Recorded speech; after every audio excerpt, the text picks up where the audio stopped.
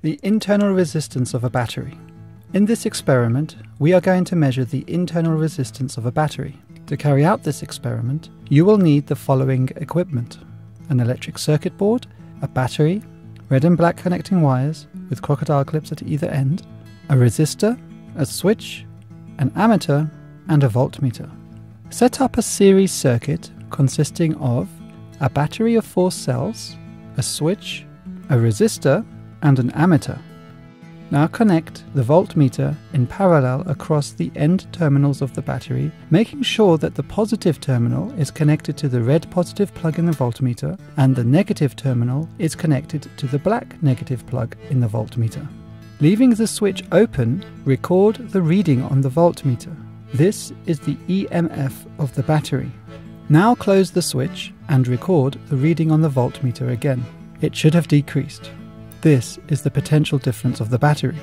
While the switch is still closed, record the ammeter reading. The lost voltage is a result of the internal resistance in the battery. To calculate this resistance, you must use Ohm's law as follows. The total resistance in the circuit is the internal resistance of the battery plus the external resistance.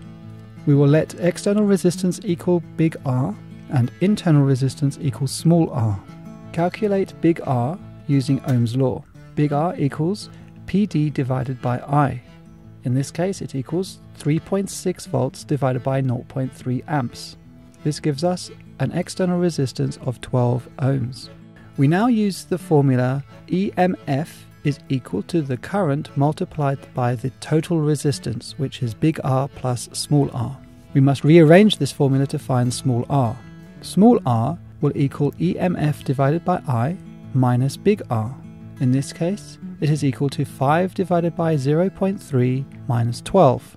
This gives us an internal resistance of 4.7 ohms. We can repeat the procedure using a different external resistor. This should still give you the same internal resistance value that you've just calculated.